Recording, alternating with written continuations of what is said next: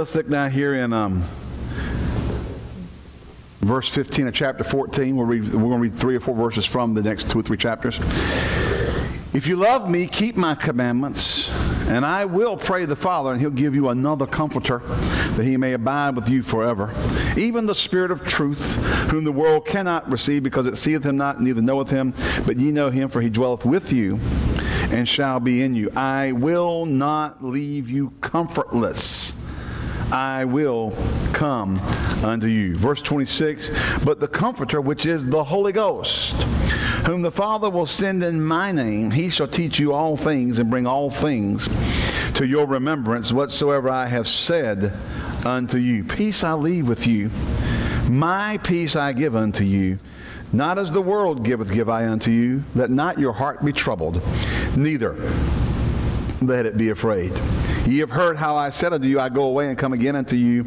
If you love me, you will rejoice. Because I said, I go unto my Father, for my, my Father is greater than I. And then over in um, John 15, 26, but when the Comforter is come, how, whom I will send unto you from the Father, even the Spirit of truth, which proceedeth from the Father, he shall testify of me. And ye shall also bear witness, because ye have been with me from the beginning. Praise God. And then chapter 16, verse 7, Nevertheless, I tell you the truth, it is expedient for you that I go away. For if I go not away, the Comforter will not come unto you. But if I depart, I will send him unto you. We're coming into um, and really have begun what, what, what, we call the Christmas season. I know now it's the holiday season. They have holiday trees, they have holiday wreaths, they have holiday presents, they have godless, atheistic, born out of the pit of hell, amorality, socialistic, Marxist mindsets about this time of year. That's my soapbox for the day. Hallelujah. If you want to know how I really feel about it, you know, this stuff's come right out of the pit of hell. Um, you know, people saying, well, you know, even those who say that, you know, we're taking the Christ out of Christmas, they, you know, the, the traditions came before that from, you know, um, you know, Gothic, uh, Gaelic and, and uh, Gothic, you know, uh, um, worships from before Christianity. I don't give a rip. It was, Christ, it was Christmas. You can go back to whatever tradition you want to go back to. We, we celebrate and have in this country and talked about the, the, the 25th of December or the, um, the um, 7th, 6th or 7th of January. That's, that's Orthodox Christmas. It's for the purpose of celebrating the birth of Jesus Christ what the, what the humanists want to do is remove Jesus from everything yeah. so that they can go out and get drunk and be, and be, and, and be, be heathens. Amen. I'm, I'm, i told Janice I'm going to walk with the store. If they, if they tell me happy holidays, if I got $1,000 worth of stuff, I'm calling the manager and telling them, here's your stuff you just lost a thousand dollar sale because you have your employees refuse to let your employees uh, say Merry Christmas because you don't want to offend them. You just offended me, and you offended a thousand dollar sale. How about that one, pal? Fantastic. That's um, I'm just thinking about going to store and getting down a bunch of stuff and waiting for them to do it. you know, you, know, you offended me. Well. We'll pick up now, back into the sermon. Brother Bill can cut that out if, you, if he feels like it. If not, you can let the world see how I really feel. Amen. Praise the Lord. But we're coming into a time of year where, you know, there's people, there's a lot of merriment. The world will celebrates Christmas. They see it's another reason to drink, party, drink wine, get drunk, get lit, get lit up, you know. I mean, overindulge in all kinds of food, you know. I mean, beer sales and all that stuff go up this time of year because everybody's drinking like crazy. I mean, you know, some people drink like a fish in water. And is just another reason to do it. You know, um, they think it's all about football games and basketball games and so forth. And um, but the church knows us about the birth of Jesus.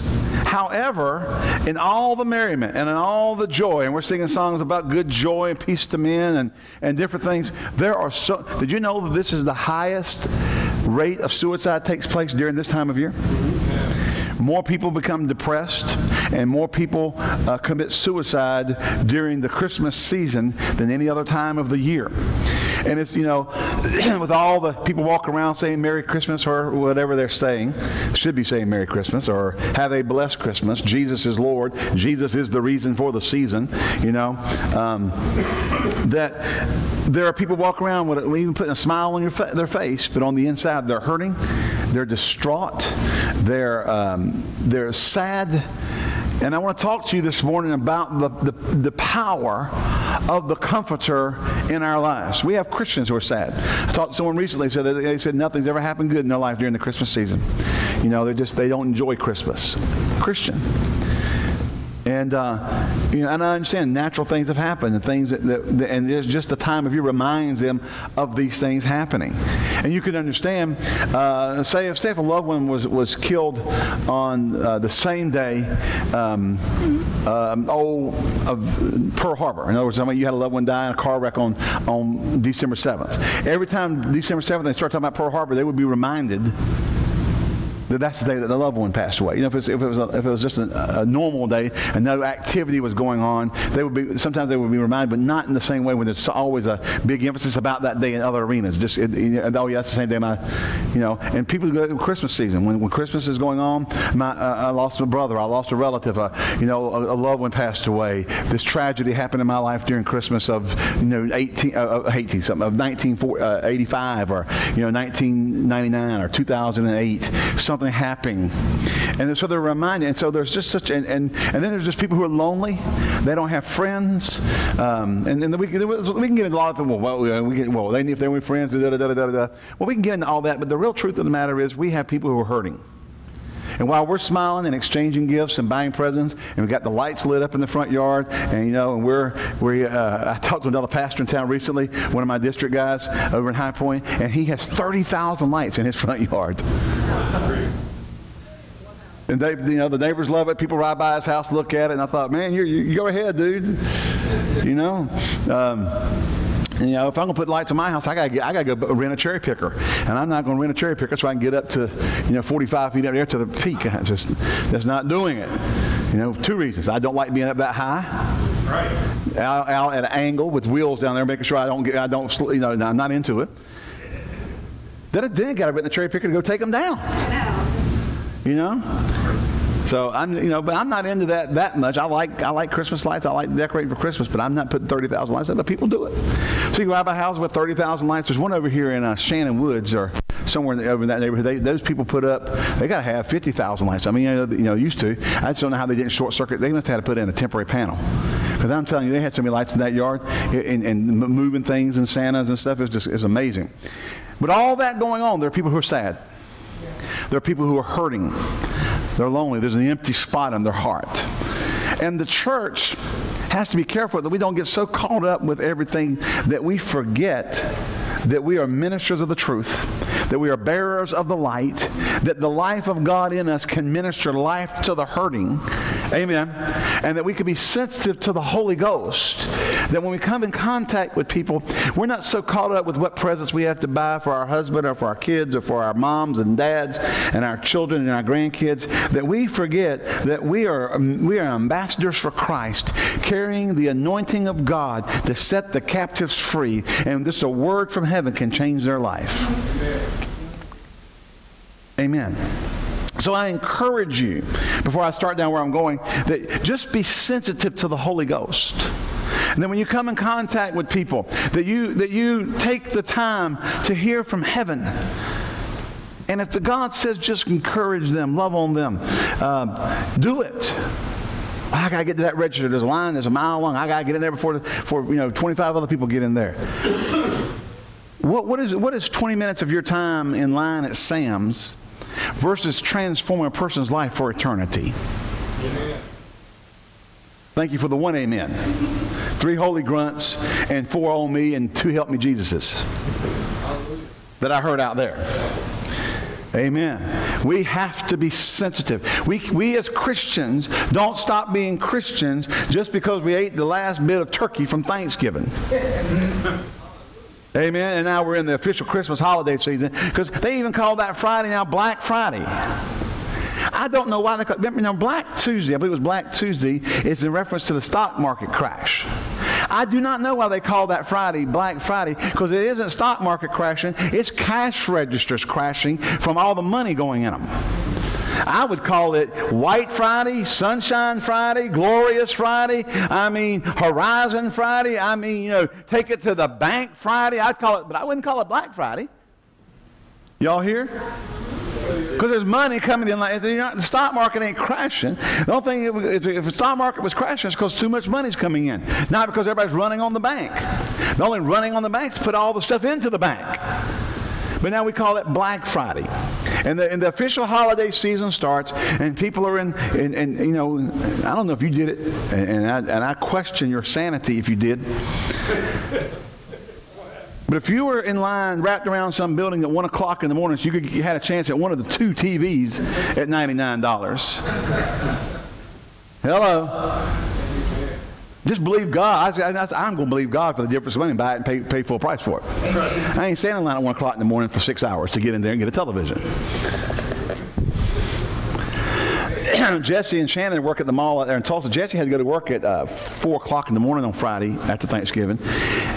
When she got to the mall, because their store opened at 4, other stores have been open all night.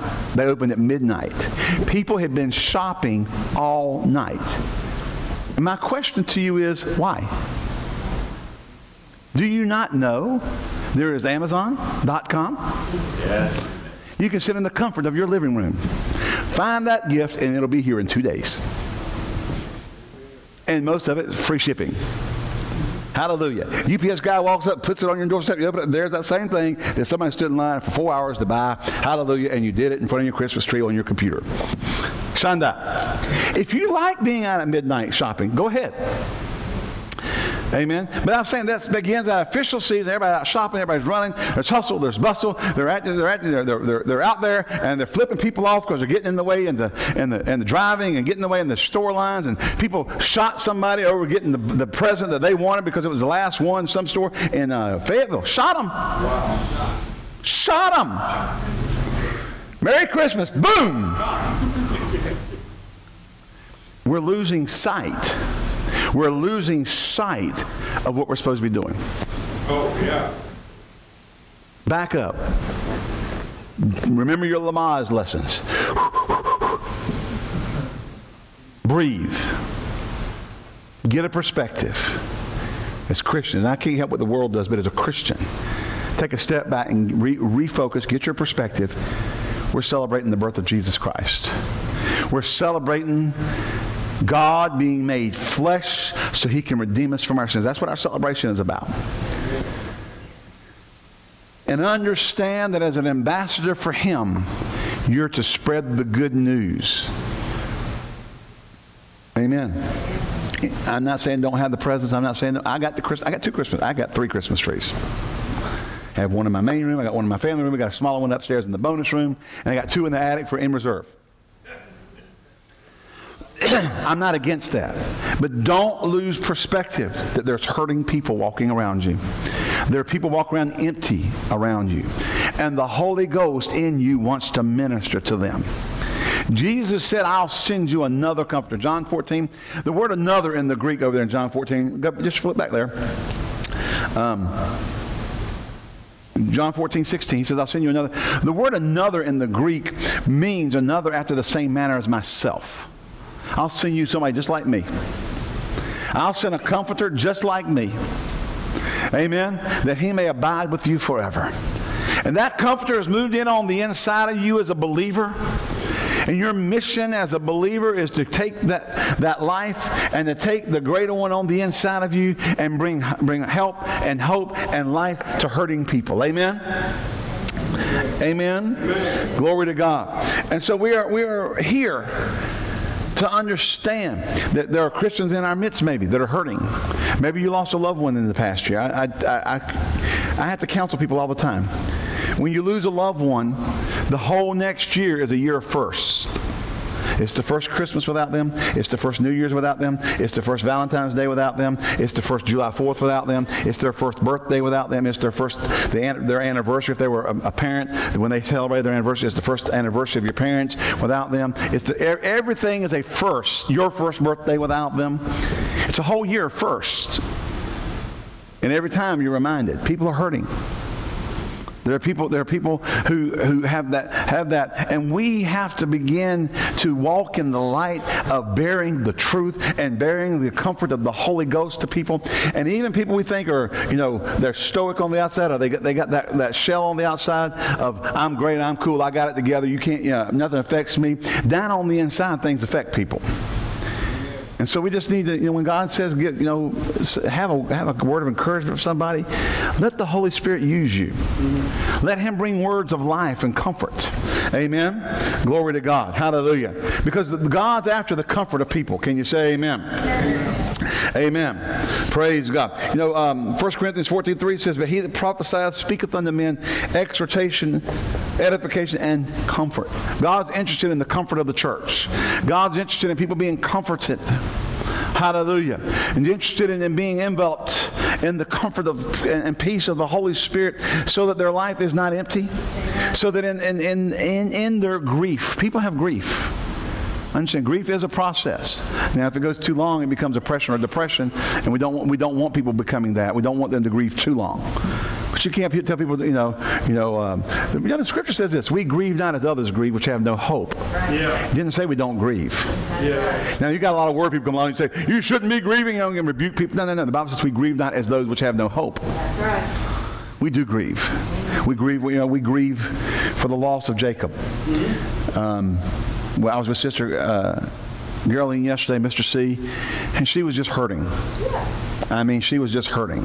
Uh, I, I, think five years ago she lost her son, um, and, and, then, and then she loses her grandson. You know, and, as a parent and a grandparent, you never expect to lose your children or your grandchildren. And that's just not something you expect to do. And she was, she was just hurting and grieving. And, uh, you know, you know, people ask the question why. There's no answers to give people that. They're not, they don't want to know why. They just say that because they're hurting. You can't give them an answer that's going to, that's going to help them that way. You know, you can go, well, you, whatever you think. You know what? We'll get, we'll have an answer one day. There, there will be things you're not ever going to find. I remember um, in 1982, I went back to Alumni Week at Rhema, and, and, right before I went back, the week before I went back, Greg Smith, which was Vicki Jamison's son, uh, nephew, Greg Smith's son, no, not Greg Smith, uh, Sam, Sam Smith's son, um, which was Vicki Jamison's brother. But Greg Smith had died. He'd been up preaching, preached the night before, and uh, his wife woke up next morning. He, would just been married a short time. He was gone. And so, and then the next week was alumni week. So Dad Hagin was ministering. He, he, um, he said that, you know, the, the, Lord, he went to the Lord in prayer said, Lord, I'm just going to raise him up. He said, Lord said, no. He said, why, Lord? Why, why, why, why? He said, the secret thing belongeth unto the Lord. See, there's sometimes there's just no answers. Remember when Dad Hagin talked about when his sister died?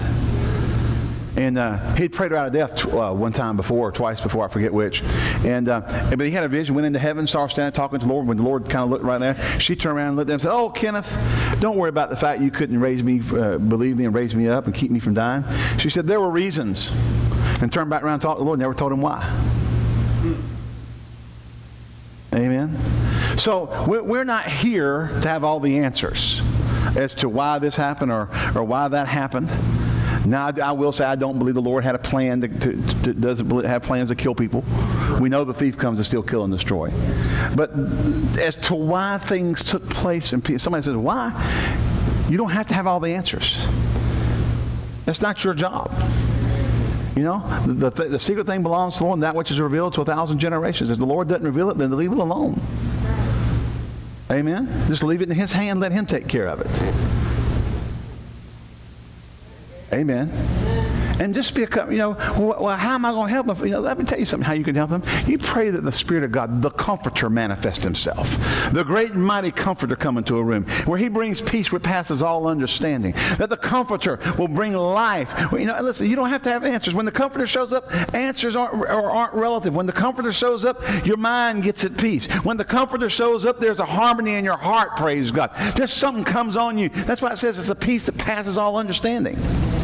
Your mind wants answers, but a peace comes on you from heaven. I said a peace can come on you from heaven. Glory to God.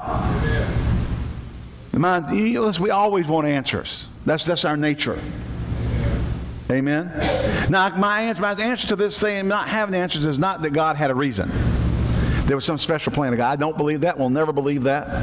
I just don't think we as believers always have to have the answer for people other than just trusting the Spirit of God to minister his life to them. Amen. And then in due season, if he wants to reveal things to them, he can. Amen. Amen. Well, it's true. The Spirit of God. We've got to have more confidence and faith in the Spirit of God's comforting process and ability than we do in us coming up with an answer that's going to appease their, th- their thoughts.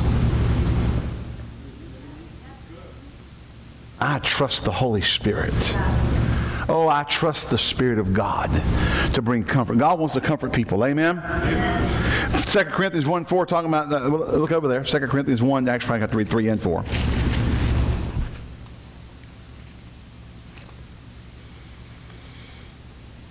Now, if you're, if you're analytical or you like to have answers, you know, you, your, your mind may say, well, I, I, I got to have an answer. Well, you don't have to have an answer. Amen. 2 Corinthians 1, I went back to 1 Corinthians It's like a. All right. Blessed be the verse 3. Blessed be God, even the Father of our Lord Jesus Christ, the Father of mercies, and the God of all comfort who comforteth us in our tribulation, that we may be able to comfort them that are in any trouble, by the comfort wherewith we ourselves are comforted of God. Now that's a lot of comforts, isn't it? That, that, you really kind of have to read it this way when you allow God to comfort you by His Spirit, when other people are hurting and other people are in tribulation and other people are in trouble, you can go and comfort them by the same power of comfort that God comforted you with. In other words, you've been there, you've got something to give them, and you can look at them and say, You don't have to have all the answers. Just let God love on you, let God comfort you. Amen? Isn't that right? Glory to God. That same comfort wherewith you've been comforted. We may be able to comfort them which are in any trouble. By the comfort wherewith we ourselves are comforted of God. Who is that comforter? Where is that? It comes from the Holy Ghost. There is a power resident in you to minister life to those who are hurting, to those who are in tribulation, to those who are in anguish. Um, and, and listen, I know sometimes people don't let the past go. They'll go through the whole Christmas season year after year after year after year in distress, in anguish, hurting, because they, they've never let the Spirit of God comfort them. If you're one of those in our midst this morning, I encourage you, let it go. Let it go into the hands of God. Let the come. But yeah, but I don't have an answer. The secret thing belongs to the Lord. If he hasn't told you anything now, let it go. Mm-hmm. And let him comfort you. Some people don't want to be comforted. I can tell you it does no one any service. It doesn't, it doesn't help anybody to hold something in memorial forever. Oh, if, if I, you know, some women you say, if I get remarried, it's going to be a, you know, it, will it'll show that I didn't really love my husband. If you're, you know, if you're 35 years old and your husband dies, woman, you need to get married. I'm just telling you the truth. If you're 55 and your husband dies, you need to get remarried. Or same thing with your wife. Jim Zirkle said this right before he passed away. He was killed in a plane crash on Hurricane Mitch back in 1990. What, you remember what year that was? 95, 98, something like that? Down in Guatemala? Okay. Um, he said, he said, if I ever, if anything ever happens to me, I want my wife to get remarried because it's the greatest testimony you could have that you enjoyed marriage so much with me, you'd do it again. Yeah. What a perspective. Instead of setting up a memorial, you know, that I can't ever remarry because that's some type of just, you know, speaking against my husband, I could love somebody else. He said, I wanted to get remarried to tell everybody that she like, being married to me was so much fun, she wants to get married again. I like that. Dr. Zirkle always had a good perspective on things. And it wasn't long after that they were killed in the plane crash, um, you know, trying to, trying to land in that horrible storm. God comforts us in tribulation. Allow Him to comfort you. And if you're not in need of comfort, comfort those wherewith you, the same comfort you've been comforted with. Because there are people hurting. And if you're hurting, listen, it may have been five, six, seven, eight, nine, ten years, whatever it is you're holding on to, let it go today. Turn it over to Jesus. Let the Holy Ghost enter in. Hallelujah. Oh, he's powerful. Hallelujah. I said he's powerful. Glory to his comfort is beyond anything. You might say, I can't ever fathom being happy during Christmas or being happy again because I'm so torn up on the inside. But there is a comforter, glory to God. That if you will allow him to enter in, hallelujah, and be who he is. Oh, my, my, my, my, my. What peace, what fulfillment he can bring to your heart again. Praise God. Praise God. It is not, it is not wrong to be happy again. It is not wrong to be fulfilled again. It's not wrong to be whole. Amen. And the Holy Ghost. Praise God. Oh, thank God for the Holy Ghost. Glory to God. I said, thank God for the Holy Ghost. Thank you, Lord. Amen. Amen. Hallelujah. Praise God. 1 Thessalonians 5.11 says, Wherefore comfort yourselves together, edify one another, even as uh, also you do. Hallelujah. 2 Thessalonians 2.17, Comfort your hearts, establish you in every good work, word and work. Paul talking about the catching away of the saints and those who are dead in Christ. Look over there, 1 Thessalonians chapter 4.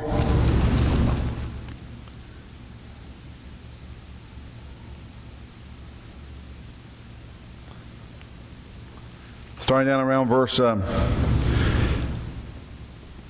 4, 13. But I would not have you to be ignorant, brethren, concerning them which are asleep, that you sorrow not even as others which have no hope. Now, here, let me say something.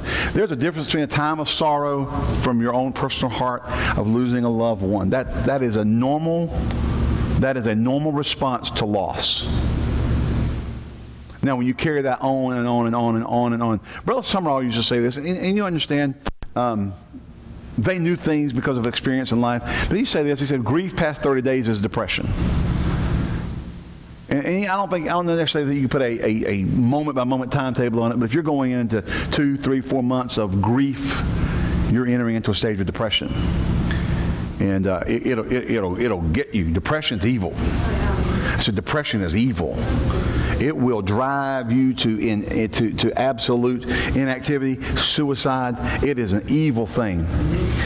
But Paul says, You sorrow not as those which have no hope. Yeah, you're sorry. You're sorrowful. Now, not sorry, you know, uh, you're sorrowful. That you've lost somebody.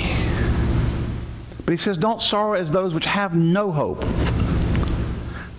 Why? Yeah, the sorrow that you, and, and the sorrow, you understand what the sorrow is. I miss them. I miss my grandfather.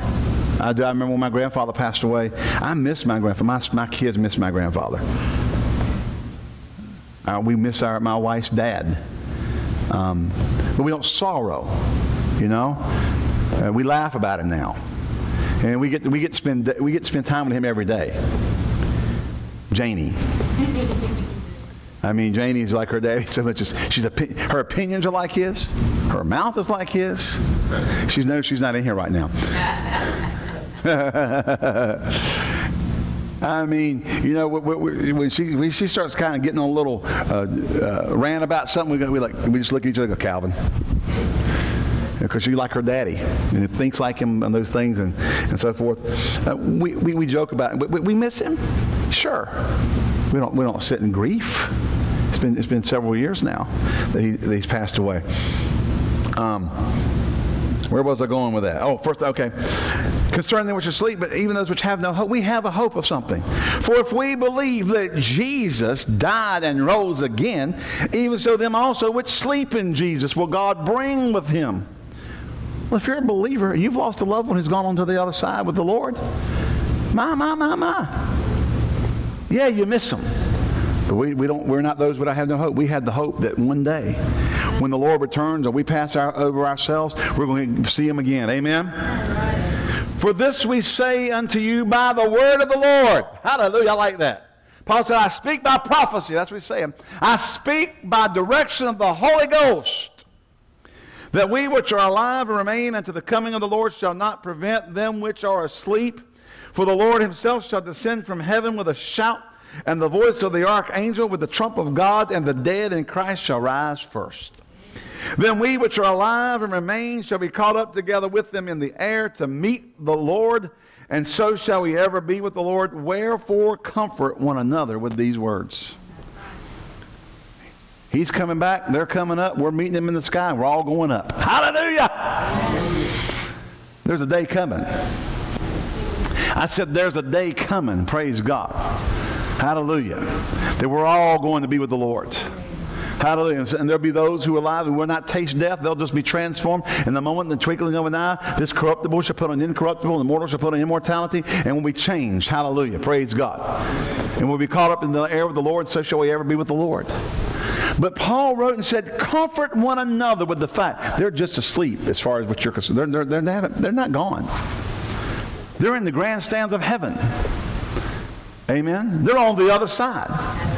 There is, listen, I'm going to tell you something. You couldn't get them back. If you, could, if you could go to heaven and talk to them, if the Lord just gave you a pass, says, oh, come on and see if you can talk them into coming back to earth, you're coming back empty handed. You're not going to get anybody to come back. Are you here? They're happy.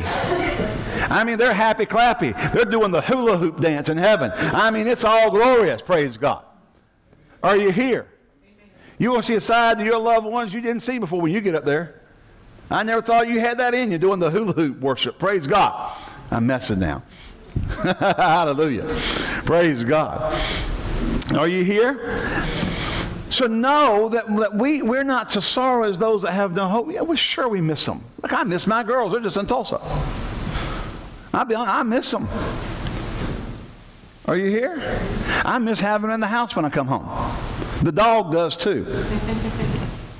Our dog is just, I mean, our dog is, she is like, uh, when we came back from Tulsa, she smelled them again on our clothes. So she's been looking for them ever since. People come in, she'll, she'll stand there and wag, wag, wag, because sometimes I'll be in the bonus room and, and Nathan will come in and uh, she's at the top, top and says, wag, wag, wag, wag, wag, wag. When she sees this Nathan, the tail stops wagging. It's not that she don't love Nathan. She's looking for the girls. Yeah. She, they're here now.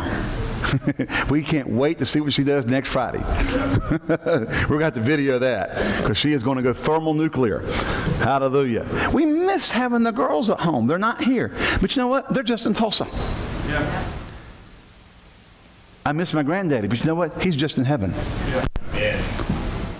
Are y'all here? Jane misses her daddy just on the other side. Is that in heaven? Just on the other side. You understand what I'm saying? When, when you come to understand that we don't have to sorrow as those with no hope, those that you've lost over the years, you don't have to be sorrowful during Christmas. You, you can have fun with, at Christmas. Amen. You can be full of joy at Christmas. I don't ever have any fun because I, I, lost I lost loved ones during this time, or I have loved ones that aren't here anymore. Can, yes, you can have fun. You can enjoy life. Let the life of God fill you. Let the life of God permeate out of you. Be light to someone who's, who's on the verge of suicide. Somebody's sitting around right now because you know maybe last year their child was run over and killed in a car wreck, or, or killed by a car, or, or they died of, of, cancer, or something really bad happened. We know, and it's not comfort to go tell them the Lord did it to them. No. That's not comfort. That is not comfort. Besides, it's a lie. Right. You don't comfort people by lying to them. Hello. But they're still hurting.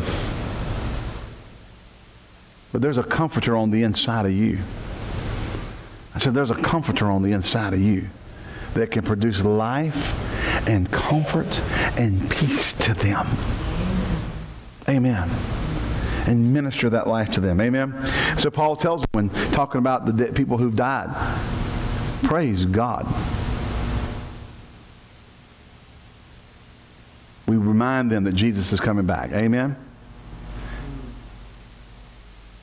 I goes to the next chapter, verse 9 says, For God hath not appointed us to wrath, but to obtain salvation by our Lord Jesus Christ, who died for our sins, that whether we wake or sleep, we shall live together with him. Wherefore, comfort yourselves together and edify one another, even as also ye do. We're to comfort one another. I said we're to comfort one another. Now listen, it doesn't have to be this, this sloppy body ministry where you get down and you, you cry all over them and I'm so sorry. You know what? Or just a word of encouragement. You know, God loves you. God's on your side. God cares for you. Amen. It doesn't have to be weird. Some people think they got to get all down and grovel and sloppy and, you know, weep and all this mess. That's going to help somebody. You know, listen. Sometimes, you know, it looks, if, if, if, it's, if it's appropriate, I guess so, but, you know, you don't have to make it happen. Just be sensitive to the Holy Ghost on how to comfort people. Mm-hmm. Amen. He'll lead you. He'll guide you. The greater one on the inside of you will rise up. Out of that, remember, remember, Jesus said there's a well, talking about the new birth, he said there's a well of life springing up into everlasting life. But then he said, when talking about the Holy Ghost, he said, out of your bellies, he that believeth on me, out of his belly shall flow rivers of living water. But this spake he of the Spirit, for he was not yet given. The Holy Ghost can flow out of us. We ought to be walking around looking for opportunities to drench people in comfort of the, of the, of the anointing of the Holy Ghost. Amen? knowing how to that he can do he can do in a moment of time what 14 years of counseling at $60 an hour will never fix mm-hmm.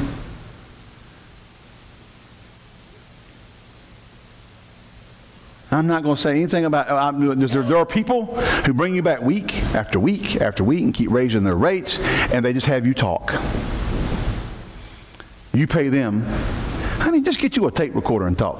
It's cheaper. Or, if you really want to get fixed, excuse me. I've stepped on it 10 times already. It's because the podium was not right, so someone put the stuff in front of the podium in the wrong place, and I moved the podium because I have got to be lined up when I'm preaching. Just if the podium's off center with that pole, you know, I, it messes me up. I'm, I'm balanced. Uh-huh. Praise the Lord. Hallelujah. But the Spirit of God wants to flow out of you and wants to flow into others and be rivers of life to them and comfort and peace. We sing the song, Comfort and Joy. Oh, tidings of comfort and joy. Amen? Well, this is a time to bring tidings of supernatural comfort and supernatural joy to people during a season where a lot of, there's a lot of hurting people. Even some in our midst may be hurting. Well, we know some are. People you work with could be hurting. People you go to school with. People uh, are your relatives. And don't get weird. Just be comfort and joy. Walk in full of sunshine. Amen? Hallelujah. Father, I thank you for today. Thank you that you minister your life to people. You bring them comfort and joy. You restore them wholly by your Spirit and by your presence and anointing. Let them, each person, experience the comfort of the Holy Ghost and let them comfort others with the comfort that they're comforted with as we go through this, this, this time of year. As we as the church celebrate the birth of Jesus Christ, may we as the, as the church be sensitive to the needs and anguish of those out there who are hurting. And bring the good news of comfort, peace that can only come from you to their lives. In Jesus' name, amen.